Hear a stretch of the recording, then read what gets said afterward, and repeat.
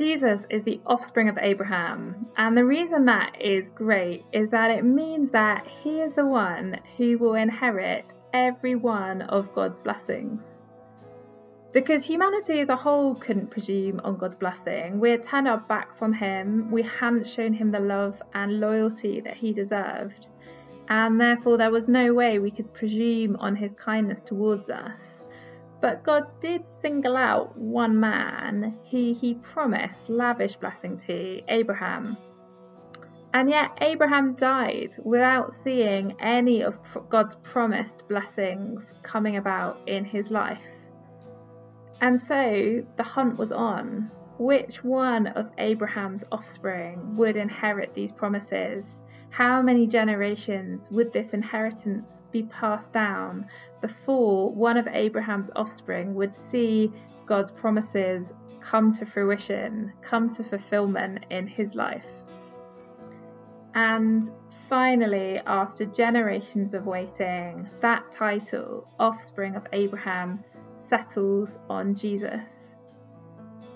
And it's so exciting because of the magnitude of these promises of blessing that God made. Jesus inherited the promise that God would be his God, that God would long to bless him. In particular, that God would make his name great. The Father longs for the day when everybody will recognize his Son as Lord. His whole plans are designed that we all might recognize how great is Jesus and um, he is determined that Jesus' name is recognized as great. He promised and he will bring about that Jesus has a good land, a home.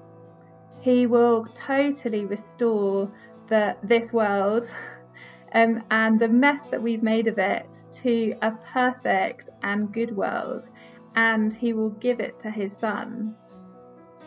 And the Father has promised him um, a people, a people who are great, a people which is huge, and a people which is good. And that's us, that's the church. Um, yes, maybe not um, as great and as good as um, as we would wish for now, and yet the Father will add to our number. The Father will protect us and the Father will perfect us. He um, he will make us a um, great people and a good people and give us to Jesus. The Father will bring about blessing um, for Jesus. But as well as Jesus being the inheritor of God's promises of blessing, the incredible thing is that as his people, we have been knit to him, we've been made one with Jesus. We are the body and he is our heads. And as that, we inherit that title with him. We become the offspring of Abraham, even though I expect for most of us we have no Jewish heritage at all. We cannot claim genetic descendant from Abraham.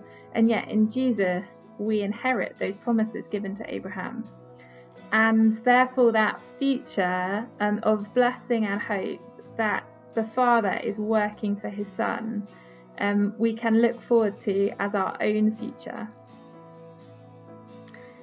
Um, let's praise God for all that He is doing for Jesus and for us.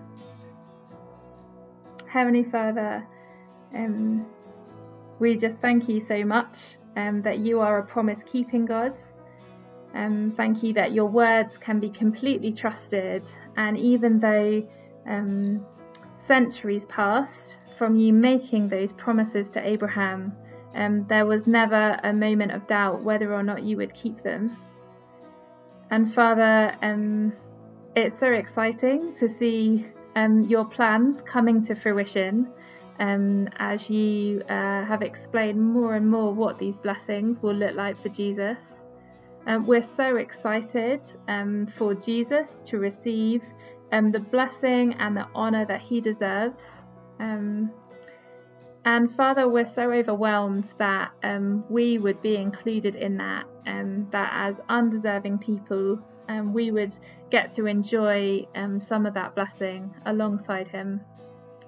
And thank you so much for your trustworthiness and thank you for your generosity. Amen.